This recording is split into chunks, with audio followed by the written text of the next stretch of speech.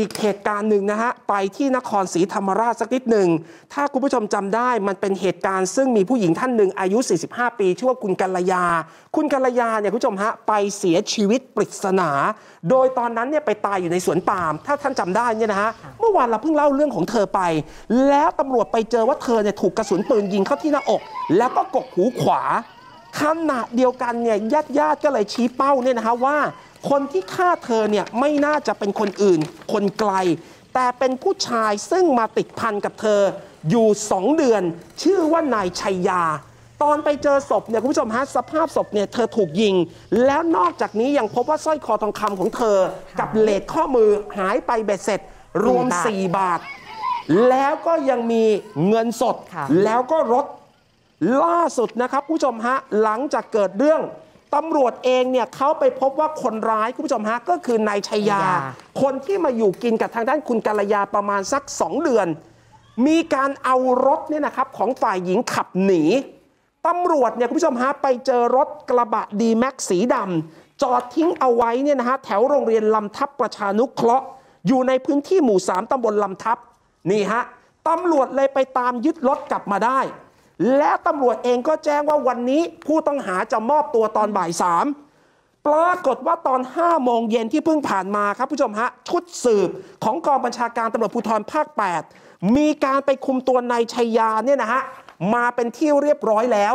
เดี๋ยวให้คุณผู้ชมดูโฉมหน้าโฉมตาสักนิดหนึ่ง โดยทันทีที่คุมตัวมาถึงเจ้าตัวสวมใส่เสื้อสีขาว หน้ากากอนามัยสีดำสวมใส่หมวกแก๊ปมีท่าทีเคร่งเครียด คนที่เอาเสื้อดำพันมือนะฮะเพราะใส่กุญแจมืออยู่ ผู้การจังหวัดนครศรีธรรมราชพลตำรวจตรีสมชายซื่นตระกูล ออกมาเปิดเผยเนี่ยนะฮะว่าการจับกลุ่มครั้งนี้ แน่นอนว่าข้อหาก็คือฆ่าผู้อื่นโดยเจตนา แต่ที่มันโหดร้ายคือเข้าใจว่าน่าจะลวงนะฮะเพราะเห็นบอกว่าจะขอไปเคลียร์ปัญหา แล้วสุดท้ายขับรถเข้าสวนปาล์ม ย้อนกลับไปมันเกิดอะไรขึ้นฝ้ายชาวบ้านบอกว่านายชายาคนนี้ไปขอยืมรถของคนตายมานะคะ แล้วก็มีการนัดคนตายเข้ามาในสวนปาล์มซึ่งห่างจากบ้านของพวกเขาเลย เข้าใจว่าตรงนี้มันเป็นพื้นที่เปลี่ยว แล้วก็มีการมาเคลียร์ปัญหาส่วนตัวกัน ตอนที่ทะเลาะกันเนี่ยไม่ได้มีใครเห็นว่าทะเลาะกันหรืออะไรเรื่องอะไร แต่ลงมาทะเลาะกันด้านล่าง หลังจากนั้นชายาก็เป็นคนใช้อาวุธปืน ยิงคุณกัลยาหรือว่าคุณแหววจนกระทั่งเสียชีวิตอยู่คาสวนปาล์มแล้วก็ขับรถกระบะคันนี้ค่ะ เป็นกระบะของคนตายหลบหนีออกไปจากที่เกิดเหตุ ซึ่งวันนี้ผู้การเองหลังจากจับได้สั่งให้ทางด้านของกองพิสูจน์หลักฐานไปเก็บ DNA ทั้งหมดนะฮะในรถคันนี้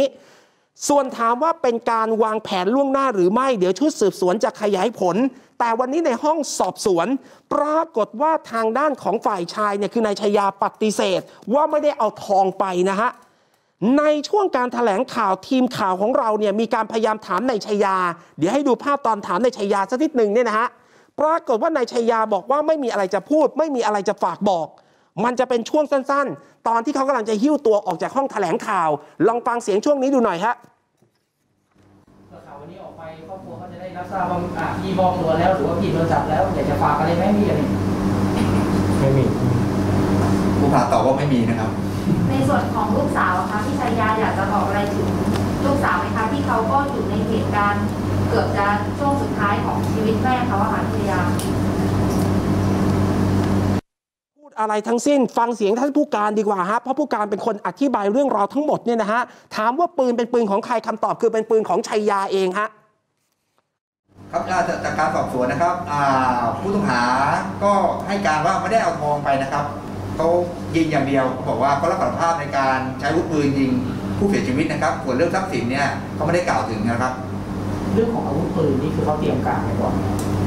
อาวุธปืนตอนนี้เรายังไม่ได้นะครับ อาวุธปืนเนี่ยเขาอ่าเขาได้เตรียมการไปแล้ว อาวุธปืนน่ะเป็นของที่เขามีติดตัวนะครับ แต่จะเตรียมการเพื่อจะยิงหรือไม่เนี่ยยังไม่ทราบนะครับ ตอนนี้เรากำลังขณะเดียวกันตอนที่หิ้วตัวชัยยาออกจากห้องประชุมเนี่ยนะครับ สังเกตว่าวันนี้มีญาติของคุณกัลยาเอง คุณผู้ชมฮะยืนอยู่นอกห้องด้วย แล้วก็ทางญาติเองเนี่ยพากันร้องไห้นี่ฮะเห็นบอกว่าท่านผู้การก็เลยต้องเข้าไปปลอบใจเนี่ยนะฮะในส่วนของญาติของคนตาย นี่คือตอนเอาตัวออกมาเนี่ยนะฮะแล้วก็มีญาติของผู้ก่อเหตุ ก็ยืนยันบอกว่าทั้งหมดนี้เดี๋ยวจะต้องให้ความเป็นธรรม วันนี้มันมีบางช่วงนะฮะแม่ของนายชัยยาเนี่ยคุณผู้ชมฮะเขาอ้างว่าลูกชายเขาเนี่ยคบกับคุณกัลยา แล้วก็มันมีเรื่องการซื้อไม้ด่างคืออะไรใช่ค่ะป้ายคือเขาบอกว่าลูกชายก็คือชัยยาเนี่ยไม่ได้หวังคบกับคุณกัลยาเพื่อทรัพย์สิน ที่ครอบครัวคนตายสงสัยว่าฆ่าเพื่อจะเอาทองเอาเงินเอารถแม่บอกไม่จริง ตั้งแต่ชัยยามาคบหากับคุณกัลยาเป็นคนให้ตลอด ทางฝั่งของผู้หญิงชอบต้นไม้ ก็เอาเงินเนี่ยไปซื้อพวกบอลสีต้นไม้ด่างราคาแพงๆให้ เพราะฉะนั้นยืนยันว่าไม่มีทางฆ่าเพื่อที่จะหวังทรัพย์สินแต่อาจจะเป็นปัญหาเรื่องอื่นค่ะ โคตรตุนก็ก็เขาไม่ก็ไม่ไหนครูได้เลยกันเลยคิดคิดว่าลูกมีเจตนาไหมแม่ตอนนี้ป้าก็ไม่จับป้าไม่จับเลยป้าก็อยู่คนเดียวนี่อยู่ตัวคนเดียว เดี๋ยวคุณอย่างนั้นก็กับป้าก็รู้จักกันดีแต่ว่าเตรียมเตรียมว่าเตรียมว่าก็ กบกับลูกบ้าวมันไม่เคยทากันนะแต่ว่าโคนนั้นมันเคยทาแล้วคำถามก็คือว่าแล้วเจ้าตัวฆ่าเขาเพราะอะไรกันแน่ เมื่อทองก็ไม่ได้เอาใช่ไหมค่ะแล้ววันนี้นักข่าวถามก็ไม่บอก แต่ตำรวจเชื่อว่าน่าจะเป็นการวางแผนนั่นแหละคุณผู้ชมฮะเพื่อจะเอาเขาไปฆ่าทิ้ง ทีมข่าวอมรินทร์ทีวีเราไปได้วงจรปิดมานะฮะวันนี้ที่สวนปาล์มเป็นรถที่นายชยาเนี่ยขับ แล้วก็มีการไปฆ่าคุณกัลยา เปิดวงจรปิดขึ้นมาหน่อยสิฮะสวนปาล์มตรงนี้เนี่ยได้ข้อมูลมาว่าเป็นที่ที่เขามักจะเข้ามาทานเหล้ากับเพื่อนนะคะเขาก็เลยค่อนข้างจะคุ้นกับเส้นทางชัยยาขับรถโดยมีคุณกัลยาเนี่ยนั่งมาข้างๆ แต่ว่าตอนที่เกิดเรื่องเพื่อนๆ บอกว่าไม่เห็นเป็นการขับเข้าไปสักพักหนึ่งอันนี้ภาพที่เราได้มาจะเป็นช่วงขับเข้า หลังจากนั้นไม่นานก็จะเป็นรถคันเดิมขับออกไป แต่คุณกัลยาเนี่ยถูกยิงตายในสวนปาล์มแล้วค่ะ คือปมทั้งหมดเดี๋ยววันนี้เจ้าตัวไม่ยอมปลีปากเลยว่าทำไมต้องฆ่าผู้หญิงที่ตัวเองรักมาก เราได้เดินทางไปบ้านชัยยานะฮะและเราไปเจอกับลูกสาวของชัยยา ชื่อว่าน้องดาวเกต น้องดาวเกตบอกว่าก่อนที่คุณพ่อเนี่ยจะลงมือฆ่าผู้หญิงคนนี้ ก่อนเกิดเรื่องประมาณ 1-2 สัปดาห์ พ่อเพิ่งจะแบ่งขายที่ดินนะครับคุณผู้ชมฮะแต่ไม่ได้บอกเหตุผลว่าจะเอาเงินไปให้ใคร แล้วก็มีคนมาซื้อที่ดินเนี่ยเห็นบอกประมาณ 1 0 0 0 0แสน ขณะเดียวกันเงินจำนวนดังกล่าวลูกไม่ได้นะฮะแต่ถามว่ามันจะโยงกับเรื่องที่ต้องไปฆ่าคุณกัลยาไหมอันนี้ลูกไม่รู้ แต่ว่าลูกรู้อย่างหนึ่งก็คือ พ่อบอกว่าเงินบางส่วนเนี่ย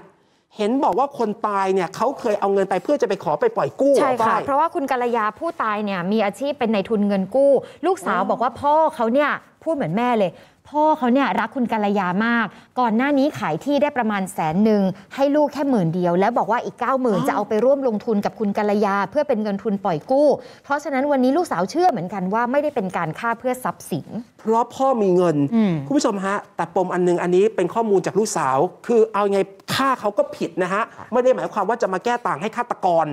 แต่วันนี้ลูกสาวบอกว่าหนึ่งคนตายก็น่าจะเอาเงินพ่อเข้าไปหรือไม่ อันที่สอง ปรากฏว่ากาลยาหลังจากนั้นเนี่ยเหมือนกับไปสนิทกับทอมนะฮะกับผู้หญิงอีกคนหนึ่งซึ่งการไปสนิทกับผู้หญิงอีกคนหนึ่งเนี่ยเลยทำให้กัลยาจะตีตัวออกห่างพ่อเขาหรือไม่ ทั้งหมดนี้มันก็เลยเป็นเรื่องเป็นราวเกิดขึ้น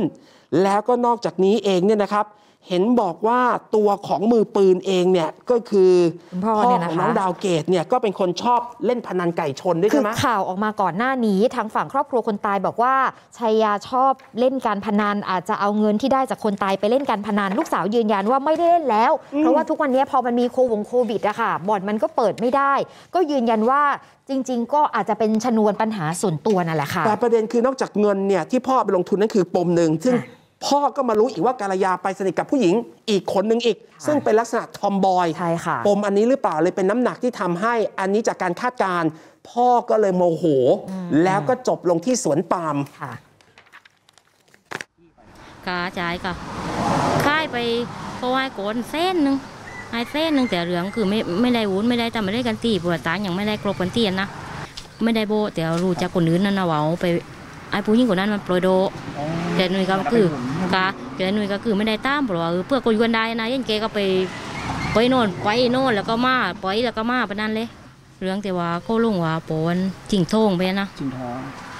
ก็ไม่เป็นความจริงเพราะเกจริงใจอย่าบอกตังค์หรือเกได้ไปจัดนี่ก็เกเอาไปกลางนู้นหมด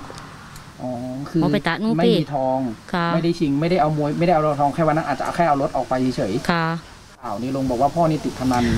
อันนี้เละเละเออเละนู่นแกเคยเล่นนะเละเมย์ไม่เสียนคือก็ไปเล่นกันคือเล่นหมาหมาเลยยอมรับเละแต่ปวดจวงล่างๆผมเมเสียนนี่ก็ก็ไม่ไปไปเละกับไอ้ตู้ปนันในเล่นที่ราคาลักโรยนี่อ้าวคุณผู้ชมฮะ จบเรื่องนี้ฮะ อย่าลืมกดติดตามช่องอมรินทีวี และกดกระดิ่งแจ้งเตือนกันด้วยนะคะ เราไม่อยากให้คุณพลาดข่าวสารและรายการดีๆ กดตรงนี้เลยค่ะ